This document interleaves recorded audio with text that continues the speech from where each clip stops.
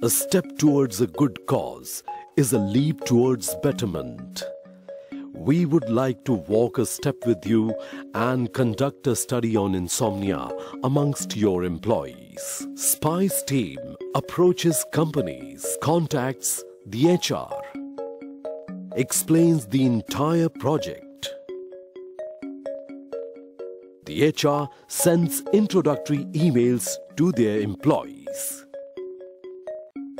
The employees respond to the emails. The HR sends invite emailers on behalf of Abbott. Employees respond with confirmation to the HR. Spice team and HR form group of employees and request them to come in the allotted time. The HR sends reminder emails to the responded or interested employees before and on the day of survey with the time slots. Participants meet the SPICE team. Participants register themselves by completing the registration and identification form. Physicians then explain the study briefly to the participant in groups.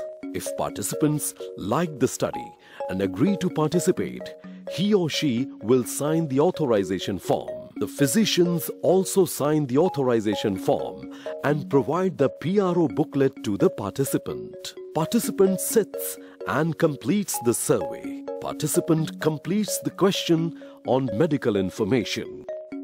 Personal habits Sleep habits if the participant is having prior diagnosis of insomnia, then he or she will not be required to complete the ISQ. If the participant is not having prior diagnosis of insomnia, ISQ will be completed by participant and then the PRO and ISQ will be reviewed by the physician. Physician reviews the ISQ and discusses the result with the participant. Physician gives the ISQ form to the participant. The survey is completed for the entire participants who are interested and agreed to participate in the study. The coordinator who assists the physician separates the materials. Those are to be sent to the data management and to investigator he or she completes the required forms and dispatches the boxes to data management and investigator. After survey and the other activities get completed, SPICE team thanks the HR and the employees for their participation.